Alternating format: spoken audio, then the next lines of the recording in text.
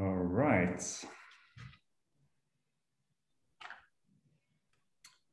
We are uh, picking up in uh, participants. Welcome, uh, people. We'll uh, wait for some time to let people uh, join into the to the links. Uh, I can add some some practical information in the meanwhile. So if you've joined joined in via the um, browser, you'll have some a limited experience in terms of being able to participate in polls or asking questions. So if you want to, to have the full experience, we suggest you uh, rejoin the, uh, the link and then download the Zoom app.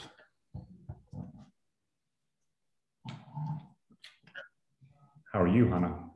I'm good, thank you. Um, it's Friday and my my kids have been uh, sick so they've been uh, home from preschool and school and now they're back. So uh, i've had oh. the time to just work and catch up a bit. So i'm i'm feeling okay. How are you? That's nice. I'm good. I'm good. I'm actually down in sarajevo bosnia uh, right now to um, i'm visiting um, two things. I'm visiting our we have part of the tech team working here in sarajevo uh, but I'm also doing a TED talk uh, on Saturday, tomorrow. Oh, so, exciting! Good luck on that. Uh, you will have to hit me up with the link after so I can watch you talk. Of course, of course, I will. Um, right, let's uh, let's get started with uh, the second webinar for uh, for this series with Hana Jamali. So, welcome to the second uh, the second webinar. It's the War on Cancer Psychologist sessions we call it, uh, and these will take place on a monthly basis. And for each episode, we'll be discussing a part or specific topics related to mental health. So for this specific uh, event, we're going to be talking about the fear of the unknown. Uh, of course, it's a wide, uh, wide thing to uh, to discuss. So, in order to get some kind of context, uh, what I'm thinking we should discuss is first of all the fear of death, uh, which is for many people very imminent when going through cancer. Uh, but also for people that have gone through cancer uh, in the past and have are now so-called survivors, and sort of the fear of relapse. Mm.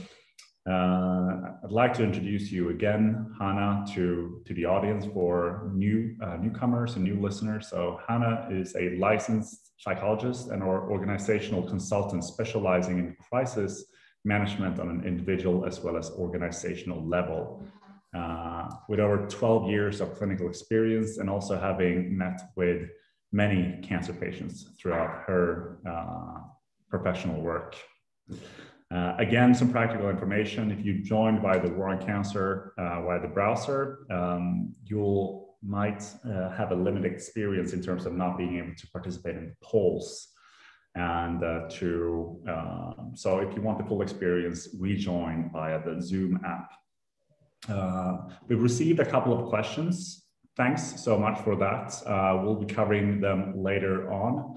But also, if you feel like you have questions you want to ask, feel free to shoot them out and we'll try to address, address them as well. Uh, and I'd like to actually start with sending out a poll to understand where we are with this question. So I'm launching it right now. And it says, on a scale from one to five, with five being the most, how strongly have you felt the fear of the unknown during or after cancer?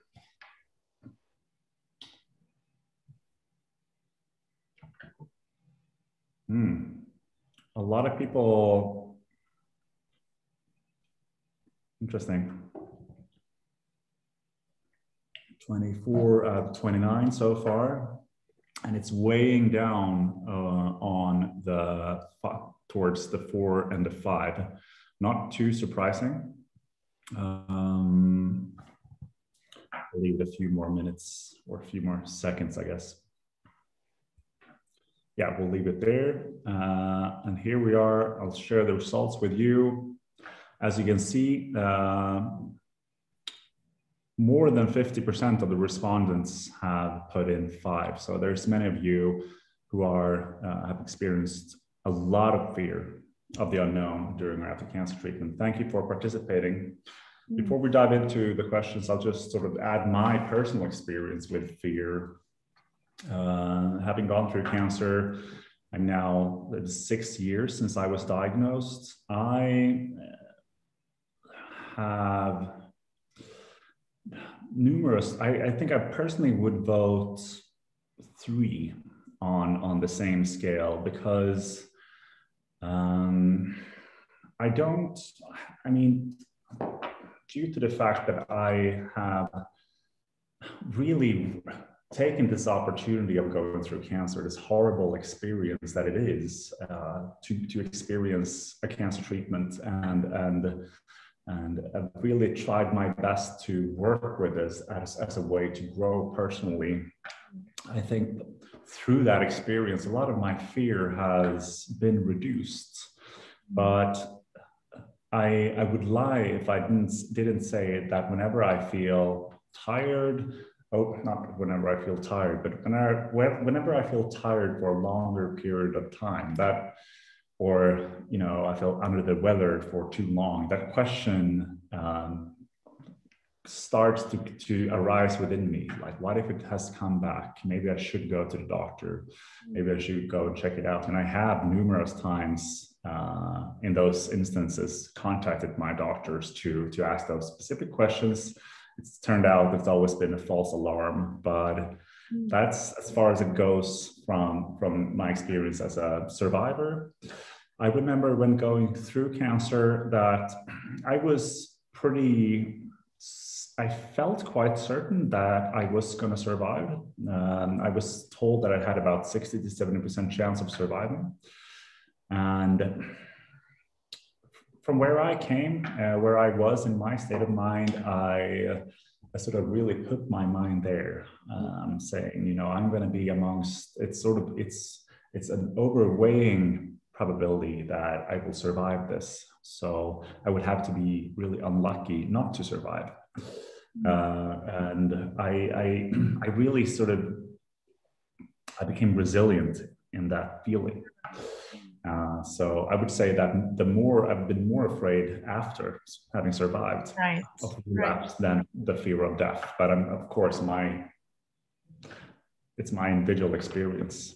So now to you, uh, or sorry. For, uh, well, no, no, uh, that's really interesting, Fabian, because you're what you're saying is that that's my individual experience. But I would say my experience as a psychologist is that what, what you experience is quite common um, in the sense that we talked about the topic is the fear of the unknown. And I would say, just to go back to that, the one thing we do know as humans is that, that there is quite quickly we understand there's a beginning and there's an end.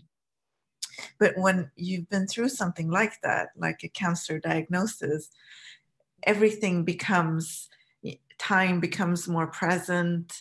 And uh, like you mm. said, um, if I can connect to what you said about go feeling that you've uh, been better, and then when life comes back somehow, you get the fear again, uh, and and uh, it almost sounds like uh, from time to time that you you were analyzing your body and and trying to see well because could this be a sign of a relapse? I'm feeling really yeah. tired uh, and that creates some kind of worry and anxiety within you that grows. And i would say that uh, that experience is very common uh, at least when it comes to all the patients i've met um, the fear of you know the, the symptoms being something else than just being tired and I, I, really like here what you're saying about, I mean, coming from the beginning and the end and realizing this.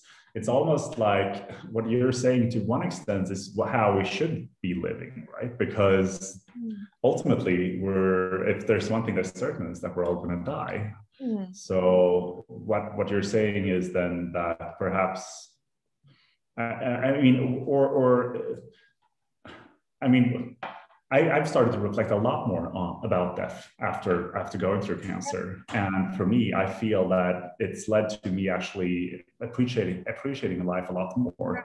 But at the same time, I get this fear of dying.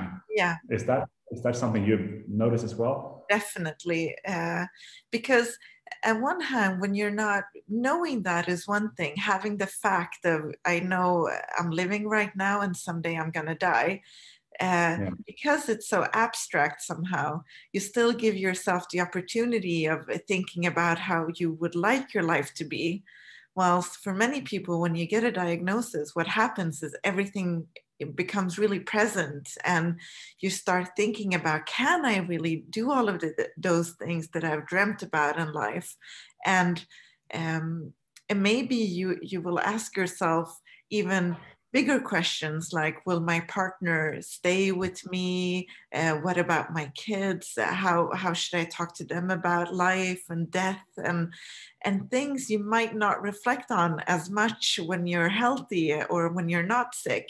Uh, yeah. so it's exactly like you said i mean if you can use that um, in a way and we're going to talk about uh, that a bit later on but if you can can use that uh, thing, that experience of being more present instead, that will be really helpful. And, and people, a lot of people I've met also say that they feel that life is a, more meaningful after yeah. their, their, diagnosis than before. So, um, yeah. But what also, I mean, if we still, I'd, I'd like to sort of deep dive a bit more into why do we fear the unknown? Because it's not I don't think it's the full answer to say that just because we become aware of the fact that we're going to die, yeah, it's it must also, I think, or what I feel, relate to the fact that we're trying to control everything so much yeah. as human beings.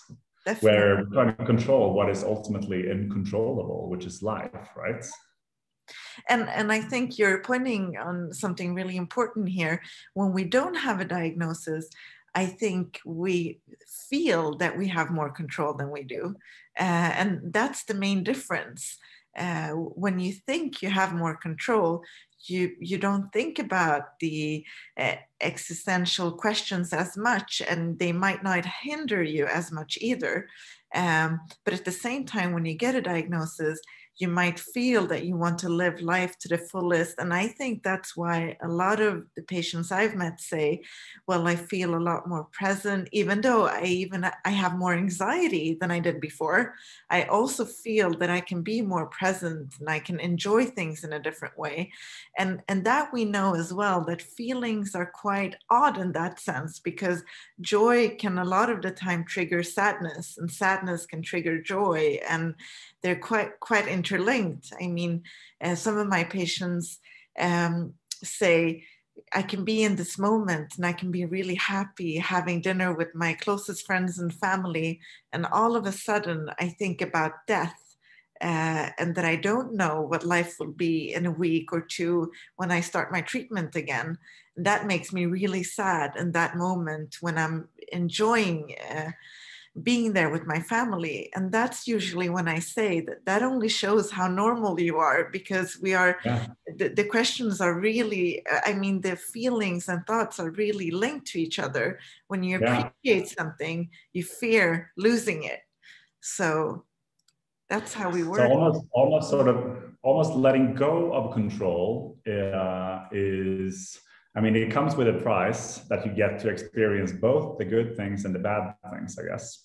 Yes. Uh, the bad things is the fact that you realize that you might actually die, but at the same time, you can be present and actually enjoy the moment instead of just trying to kind of con- constantly project a future that you that is futile for you to be projecting. Yes, exactly. And I, and a lot of my patients have always uh, has always said that. Um, they also get this overwhelming feeling of their feelings. So sometimes when they feel joy, they really feel joy, or yeah. when they feel anxiety, it's almost like they're paralyzed by it. So, yeah. and that is something they don't really recognize from before the diagnosis either, that being in these ex- extreme feelings. Uh, uh, and that's obviously something new for a lot of people as well. Uh, the life before and after cancer. Yeah. But why bringing it back further? Why do we want control? What's why, why do we feel like we have to control everything? Um, because life is so unpredictable, I think it's a way for people to uh, try to categorize and, and, and make things easier. Uh, we know, for instance, that people who have a lot of ex- ex- help me existential thoughts uh, they, they, they can experience a lot of uh, meaning, but they can also experience uh, fear, a lot of fear, because they don't know what the right answer is. And I usually say we can go back to kids and how they organize their everyday life. And, and they really, a lot of children want things to be uh, in order and they want to know what happens in the next step because then it becomes overwhelming. And as adults, we learn to uh, understand complexity in a different way and we can handle more of that. But too much complexity becomes too hard, even for us as adults. So I think it's a way of just being able to live your everyday life and uh, try to be a bit organized in everything that's going on. And control uh, somehow, we think, is a way of doing that. I'm a huge fan of uh, looking back to the caveman days for to understand our own behavior. And it seems like the people who are more fearful and wanting to control everything were probably more prone to survive yes. than uh, the our ancestors who were more sort of like easy go lucky, you know, just float around and just see what happens. Because back then life was harsh in a way it's not. So I guess we have we share a lot of the sort of genetical composition of those who were more prone towards fear yeah. and wanted to control things. So we also, also, I think we need to keep in mind that we're working, if we want to become more free, we're working against generations of more fearful people that, and, and that lives in our blood as well. You're completely right. We're actually working against our our brain because our brain is wired to be uh, in control and try to uh, look up negative situations and be proactive. Uh, and a lot of things in life you can control. And that's when our brain usually gives us anxiety as a way of trying to keep us and keep us safe. Uh, so you're absolutely right. Cool. Let's move it in towards cancer a bit more. Now we've been flowing around the philosophical uh, part for a bit. So I mean, what are the most common pattern, patterns you see in, in patients who fear a cancer relapse? Uh, we so you were touching upon it, but do you want to sort of elaborate a bit more? Sort of let's, yeah. if you can just talk about your experience a bit with, with, with cancer patients and survivors. Uh, I would say that the biggest fear is is not really when you're in treatment in the sense that uh, you're having a lot of symptoms and feeling sick. Uh, a lot of my patients have said that during that period, you're just coping and trying to survive the everyday. So those thoughts are not that present then. It's more in the moments when you're feeling healthy or when you're feeling that you're getting your life back or when you're starting to dream about the future or what you would like to do. That's usually when the fear also kicks in. Um, and it's like we talked about before that when you have something that you find meaningful or that matter to you you're also afraid of losing that. So it's it's like the same situation with the dinner and enjoying that and at the same time getting scared that you will lose that or never have that again. Uh, so it's the same kind of patterns you can see there so usually a lot of uh, my patients even say, when I'm in my sickest moments, I'm, I'm actually quite active because I know what I need to do to survive in that situation.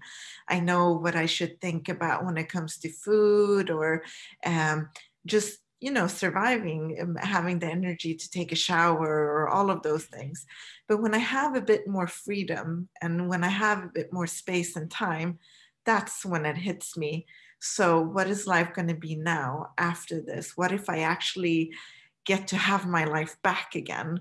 Uh, what would I like to do? And that usually comes with a great amount of fear and sometimes anxiety. Hmm. just bringing it back to my own experience, I wonder when I've been most fearful. I would, hmm, I, I, would, I would say when in times when I felt the most fearful, uh, have been times when I've been the most stressed. Mm. So I wouldn't really be able to relate to sort of like when things are going well that I get more feel, fearful then, but rather, yeah, you know, it feels almost like a downward spiral sometimes in life when you get really stressed mm. uh, you you know your sleep gets worsened and then you start to cut your the amount of time you exercise on a weekly basis and then all these things leads to more stress and then you might get sick or feel down and then you know in that moment when you're you know in a not a good mental health yeah. uh, state of mind, that's where the fear creeps in, at least for me. Yeah. Uh, and, that's common too, uh, because when you've had the experience of fear or anxiety, uh, usually when you have other feelings, that usually triggers that. So, because you've had the experience of real fear and the fear of the unknown, uh, things that are quite similar to those feelings can trigger those thoughts because that's how our brain is wired. So uh, something that's similar to something else get interlinked. And that's usually why I tell my patients to make sure that you have the basics, that you get your sleep, that you eat okay, uh, because sometimes even feelings of hunger and tiredness can trigger anxiety as well because our brain kind of gets those feelings mixed up. So it's just a way of uh, taking care of yourself, making sure that you have your routines as a way of helping yourself to handle when you get fearful or when you have anxiety. I guess we're kind of moving in towards sort of advice here, tips, coping, um, and uh, I mean, was that it in terms of your advice, or how do you normally? No, I would say start? the biggest two. I would say I have two big tips to give away, and and uh, the first one is when you are feeling this fear of the unknown, usually what happens is you feel stressed, like you said, and, and you also feel a lot of anxiety. And for some people, you can even go towards depression. And what you tend to do in that situation is that you want to, um, a lot of people isolate themselves and what you would what is good to do in that situation is instead of going into yourself is to go out of yourself so uh, what I usually recommend is that you have a piece of pen and paper and you write those fears down. So, yeah. what are my fears? And what you try to do then is to be present with what is going on in your body when you are writing these things down because usually when we we feel that we're frightened or that we have anxiety, we do a hmm. lot of things to avoid those feelings. And what you're doing now is by vis- visualizing them, you're actually exposing yourself to those feelings. So that is one thing to write them down and see what happens to you. Another thing is to ask yourself the question so, what am I not doing because I'm scared? because I have this fear in my body. What are the things in life um, I've stopped doing that I know is important to me, or things that I would like to do that I'm not doing because of fear? And the point of that is not to do them and then confront your fear or um, uh, get your fear to go away. That's not the point. The point of that is to do the things that you want to do, even though you have fear inside of you. Uh, and that's the way of being. And when you do things like that, you become more confident. And a lot of uh, patients I have say that they feel proud of themselves. And those feelings are really important when it comes to uh, fear and anxiety having it almost becomes like an anecdote against those uh, feelings because when you feel proud uh, of yeah. yourself uh, you can also manage and handle the cost of being frightened. Nice. Um, what i wonder is could we take it up a notch and say can you learn to love the unknown? How would you how, if i came to you and said i want to learn to just love the fact that everything ultimately is uncontrollable anyways I understand that life happens the way it happens. What if I can, how can I, how do I learn to just fly and flow with that experience? Uh, you can learn that by uh, exposing yourself. That is the best way. And like I said, um, the way of being doing all of those things and not controlling is not to get your fear to go away is to live with the fear. It's a big difference between those two. Yeah. uh, so i would say that if if you want that uh, you would get to know your fear and get to know your feelings and not a way of controlling them just a way of just letting them be there with you while you're on your journey. So be scared and, and do things that matter and and i would say um, i mean I, have a lot of patients who say that as well who say i'm you know i'm uh, I love risks, and especially when it comes to my patients who have traveled a lot or who've been doing like risk sports, etc.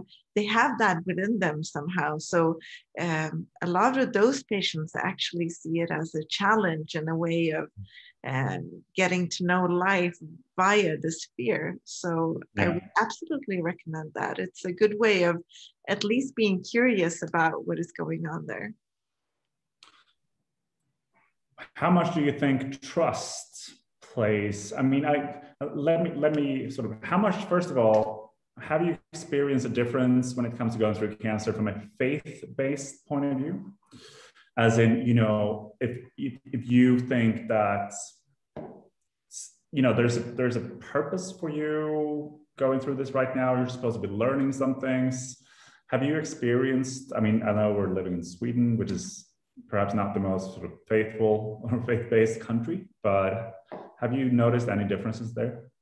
We do know when we look to research that some faith can be helpful. I mean, a lot of people say that uh, faith can be helpful. Uh, and maybe that's a way of, like you said, trusting uh, something, trusting that uh, this is not in my hands and it's in someone else's hands. Uh, but I would also say that people that practice uh, some kind of mindfulness or at least the here and now practice uh, of being yeah. present like we, like we talked about before uh, they have the same experience so it's more about not letting uh, these extreme feelings control you. It's more about letting yourself telling yourself what do i want uh, to be my compass in life? And how can i live with the capacity I have, I mean, if you're sick and you have a diagnosis that it, that hinders you from doing a lot of things that matter to you, you can tell yourself, "What can I do with the capacity I have?" And we know that if you activate that and try to live by that, you're more prone to uh, having better mental health than if you don't. I can definitely see that, and I mean, if I'm just going to go, go back to my experience here and, and, and sort of, and I am sure some listeners will relate to it and, and others won't. But I, uh, when I was diagnosed, um, I, um, I didn't have much time because I know one of the most common questions is, you know, why? Like, mm. why was I diagnosed? Why me out of all people? Um, I never had really had the time to to um, think about that in that sense because I pretty quickly felt, and I, it was probably my mind that made it so for me as a perhaps a survival instinct, but I felt I, I felt it like uh, I tried to see a lot of I, I, felt a lot of purpose in my journey going through cancer. Mm-hmm. I felt that I was diagnosed um, because I was living a very my, my, life before cancer. I wasn't being very good to myself from a mental health point of view. I'm not saying that cancer came there as just in a way to sort of rescue me, but it, I looked at it upon it as a, a learning experience for myself. Um, and also, I took the opportunity whilst going through cancer to try and help others, which of course gave me even more sense of purpose. So for me, that was what's created the, the, the journey of war on cancer. Um, have you discovered, or in your have you discovered the question why when you're we're talking with patients and sort of what, what have been your experiences when you talk to them about this uh, i would say that not so much about the why but more of a um, sorrow that you uh, that you're not on the same path as everyone else. Maybe more of i wouldn't say bitterness but more of a sadness that could turn into bitterness if you're not careful. So yeah. um so so n- no not not the why so much um, really. I have i haven't really heard so much about that uh, i understand. It's a it's a it's a very it's a profound question, I guess. Why do, do people why do things happen to you and why does not? I just personally found it it's it's really helped me to to whenever I feel I felt really down or sad, I felt that is it was well, it happened to me. So I guess because it happened, it should happen. Uh, I was and because of that, I'm supposed to learn something from it and sort of I've, I've I really learned through the years to lean into that experience. And, you know, uh, it, it's whenever it's been really tough for me, it's helped me a lot. So call it faith based or call it sort of, sort of just um, the act of nothing is random. Uh, that, that idea that there's always sort of nothing is really random, but things do happen for, for some reason. Uh, we don't, might not always know the reason. You're, you're also talking about something very important and it's uh, it's about behaviors that you've uh, been active and doing things and uh, especially when it comes to certain things. You said you you uh, lean towards more meaningful things and also you wanted to do things for others. And we know that when it comes to well-being that we're uh, we feel a lot better and more meaning in our lives when we do things for others um, and that can also be helpful. I know uh, a lot of my patients also say that sometimes because I, I feel so focused on myself because uh, because of uh, my cancer and, and I and try to analyze my body and my symptoms and everything, it's sometimes really helpful for, for me to be out with my friends and focus on them and how they're feeling and really being present with them and taking in their perspective. And, and they also say that that's something really helpful when it comes to their own mental health.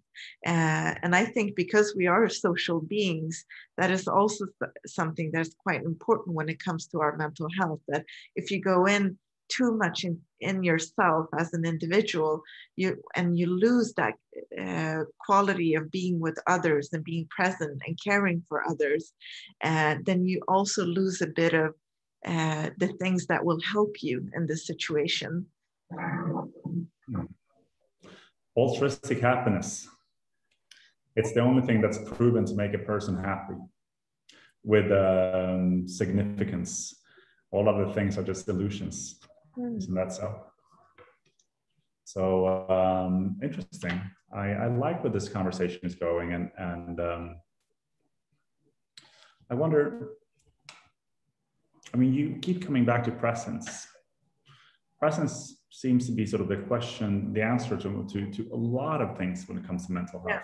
Yeah. Can you elaborate a bit on what is it? What is, I mean, perhaps some people don't really know what presence means. And secondly, why is it so good to be in presence? Yeah, good question. And thirdly, um, how do you get into presence? How you get into presence, yeah. yeah. Um, and I usually say that everything we do are behaviors. Even when we think that we're not doing things, we are doing things. Uh, so even when you think you're just sitting there looking at me you're probably you know it, it, takes a bit of effort looking at me or when you're ruminating and you're thinking about your thoughts you're also actively doing something. You're going into yourself and you're analyzing your thoughts something that takes a lot of energy and time from you. So being present is the same thing. But what happens because you were you were talking about that earlier on that how our brain is wired to look for uh, negative things um, and i would say that it's the same thing when it comes to presence we're not able to be present all of the time because that would go against how we're built we're built to look for danger. So if we're present all the time, a bus can hit us and we can die. So that's not a good thing. But to mm. actively tell yourself that I'm going to be present now for as long as I can, that's a good thing. Um, when I'm uh, having my coffee here while I'm talking to you for 10 minutes, I can do everything that I can to try to be present. And that would be to actively do things that will make me present, like looking at you, asking questions, nodding when you're talking. Uh, when, when I realize that my brain is somewhere else, I actively take it back. Mm-hmm. When I'm thinking about what I'm having for dinner later on, etc. I tell my brain, okay, so I noticed that. Let's go back to our conversation. And you can't do that all of the time. That's a really big pressure to have on yourself. But if you can try to train that and say, I'm going to do it for 10 minutes while I'm having this conversation. That's actually quite good. And then my mind can scatter, and that's completely fine. Um, but that's the that's the way of training your presence. Great. Um, we should have a whole uh, whole episode, I guess, on on uh, on that topic. Um, but great, uh, great way of uh, presenting it. A uh, couple of questions from the audience here. Yeah. Uh, first of all, how to deal with the very feared scan anxiety? how to sorry i didn't catch that how, how do you how does one deal with scan anxiety so anxiety uh, anxiety before yeah. going to a scan or before seeing yeah. the results of a scan yeah that's a very good question. Uh, I would say it's exposure, uh, like we talked about before. And usually, when when anxiety works the way that it's a buildup, so, what happens is usually when you have a lot of anxiety for a situation, it's because you've probably put a lot of energy and time and thinking about how it could go wrong or things like that. So, the actual situation, a lot of people say, is not as hard as they thought. Um, but the build up towards that situation is a lot harder. So I would say the same thing that we talked about earlier that if you know, write those things down and vis- visualize them and also talk about your fear.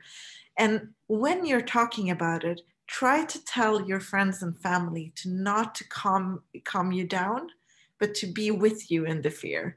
So yeah. instead of saying, you know, everything will be fine, you will be okay, all of these really nice things that people say and do around you to be uh, loving, uh, that can actually be counterproductive. So, what happens is what you do instead is in that instant, you lower your anxiety, but in the long run, you actually stabilize your anxiety. Uh, because that's how anxiety works. So, what you need to do is to, when you expose yourself, your anxiety actually goes up, up, up, up and what you have to do there is try to be present with your anxiety because then you will realize that it will go down or at least you will find tools to handle your anxiety. So, one thing would be write it down, expose yourself, and during the time you are exposing yourself to different situations linked to the scan, uh, make sure that you have everything you need to be able to handle that anxiety. So, sleep yeah. well, eat well, and do things that matter to you. But then you can also say, every day for like an hour, I will sit down and visualize this, and I will wake my anxiety as a way of getting to know how my anxiety works. How how good it is is how important is community as in being in touch with others who are going through the same thing uh, with regards to dealing with both anxiety, but I guess fear of the unknown in general. We are social people and we need each other's experiences. So, being a part of a community is a very good way of handling that to share your thoughts and, and get perspective from other people in that situation. I would say that's priceless. Yeah, yeah, I fully agree. Um, how do you continue to live the life you have rather than worry about the life you may not have? from uh, Stephanie, one of the, in the audience. Good, Stephanie. I would say the most important thing is to not blame yourself when you're in that situation and you're thinking about the life that you could not have or that you didn't have. I think it's important to grieve as well. So, uh, we've talked a lot about curiosity and being present, which are really important things, but it's also important to be able to grieve and be sad about what you feel that you might be missing out on. Uh, and if you don't, uh, you might deny yourself a part that really wants to be heard. So I would say take your time, make sure that you grieve, but do it at the same um, do both things. So grieve but also do things that you can do and that you would like to do with the capa- capacity you have. And also perhaps uh, approach or embrace the idea of change because i mean change is constant. I mean you i don't have the same life that i had yesterday. Yeah something's changed yeah. my my relationships has changed. My friends are different. Uh, things might happen. There might be a war somewhere. Things change everywhere and things change within yourself. You're aging. So yeah. i mean going back to what was i mean i feel I feel that from my, I'm just giving my personal experience here. I've learned to sort of cherish, uh, cherish change more uh, and more. Uh, and I mean, I used to be also a person that sort of had my ways very set, and I had my yeah. sort of this is my projection. I have my three month, four month, five year plan. This is what I'm going to be doing.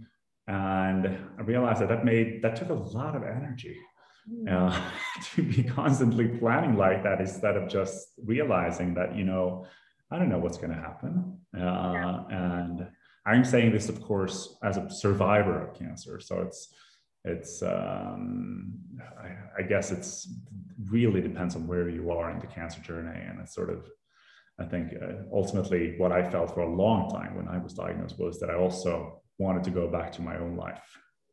And i and i think what you're saying right now is really important because somehow when things happen all kind of crisis really uh, people think that uh, life would have been linear and uh, i mm-hmm. mean you would you would live the way you thought you would live. And whilst exactly like you said things change all of the time. You don't know how your life would be.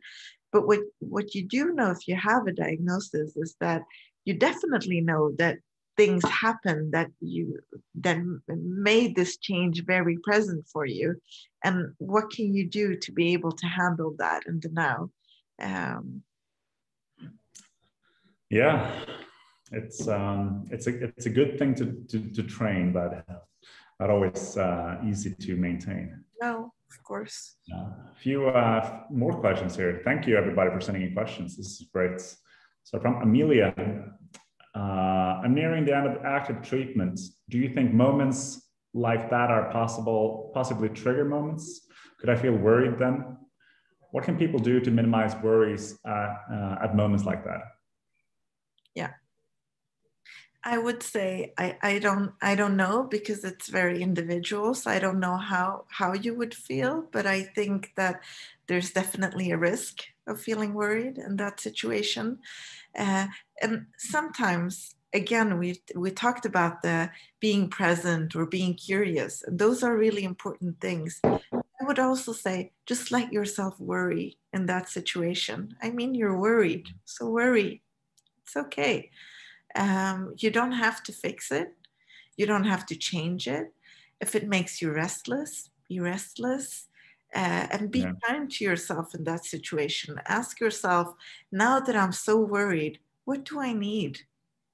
What would be helpful for me?